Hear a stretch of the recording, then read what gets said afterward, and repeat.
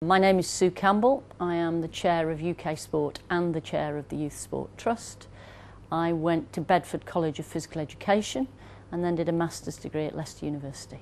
So many of our athletes now, I mean, we encourage our high performance uh, athletes not to abandon um, either academic achievement or uh, work experience uh, because you know we take them now into this parallel world of of uh, elite sport for perhaps 8 12 years. The two universities that that I suppose have led the way in many ways are Bath and and Loughborough largely because they developed their sporting facilities and their connection with high performance sport very early on. Without any doubt that kind of investment that universities have made in sport and the investment through lottery that that government's been able to focus on the development of of sporting facilities has given our elite athletes the best possible chance of success. What components are needed to make a high performance system? World class facility, world class coaches, athletes with time to train um, full time, to work at their sport, uh, really high quality sports science, sports medicine, great re research and innovation, and a really sensible look at talent.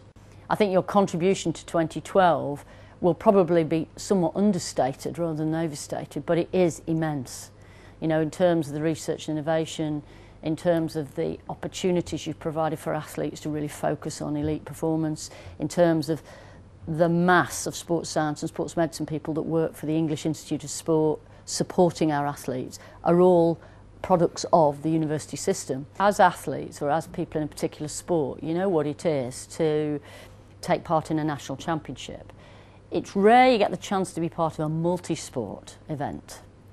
Um, Commonwealth Games, uh, we've now got this thing called the School Games, which is a multi-sport event, and the BUCS Championship. And there's something about being in that multi-sport environment that's really useful to experience before you arrive in an Olympic or Paralympic village.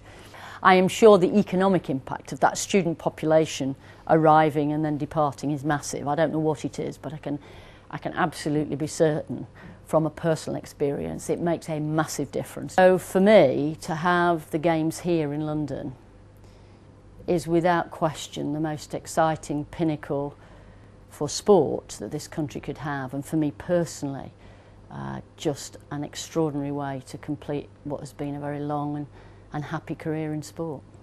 I'm proud to be part of Universities Week because universities have played such a central part in my professional and personal development.